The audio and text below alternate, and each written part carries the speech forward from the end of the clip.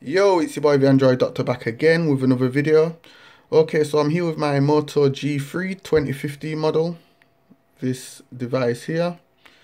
Okay, so as you all may be aware, this device is like two years old now, so it's not going to see the official Android 8.0 update, which is quite a shame really, because this device is still a good device, even though it's two years old.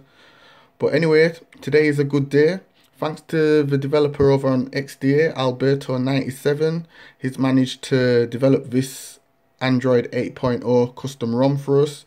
It's called Lineage OS 15.0. It's an official, but it's still based on Android 8.0. I installed this ROM like four hours ago, and so far I must say it's working really well. I've not had any major issues with it, no random reboots or anything like that and more or less everything is working. Let's just take a look at what's working and um, there is a few bugs so we're going to take a look at what's working and what's not working. So um, these are all the things what are working. So it boots up. Calls are working so you can make calls and um, receive calls. SMS MMS is working so you can send text messages, data is working, Wi-Fi is also working, Bluetooth's working, and video playback's working. And so far there's three bugs here.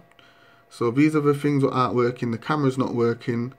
VoLTE is currently unimplemented as it breaks for RIL. Permissive Linux isn't working as well. So those are the three bugs as of now. But as you can see, everything else is working. So um, once again, I just want to say a really big thanks to the developer. His name's Alberto97 over on XDA. I'll leave a li link to his thread in the description down below. Be sure to check it out, guys. Um, feel free to donate to him as well for any future development on this ROM. Um, and also be sure to give his page a like as well. So I'm just going to show you all that this is Android 8.0. So let's just go into the settings. About phone Moto G3, Android version 8.0.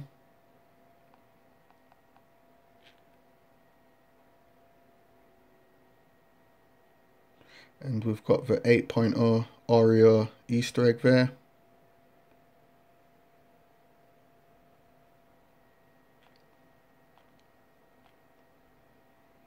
So like I said, this ROM is working really good. If you're not bothered about um, the camera not working, I'd go ahead and install this. And like I said, it's still in the early stages, so I'm sure the camera will get fixed soon.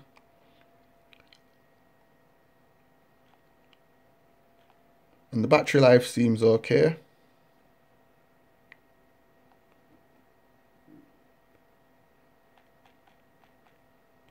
But yeah, this is Android 8.0 running on the Moto G3 2050 model. Um, so if you want to install this, there's a few requirements. You will need to first of all unlock your bootloader. You'll also need to root the device, install TWRP recovery, and then install the ROM and the Google Apps. Um, if you don't know how to do all that, you can follow my simple tutorial. I've made the video already. It will be in the description down below be sure to check it out and you can have this installed on your phone in less than half an hour. Anyway, it's your boy the Android Doctor. I'm out. Be sure to give this video a like. Doses.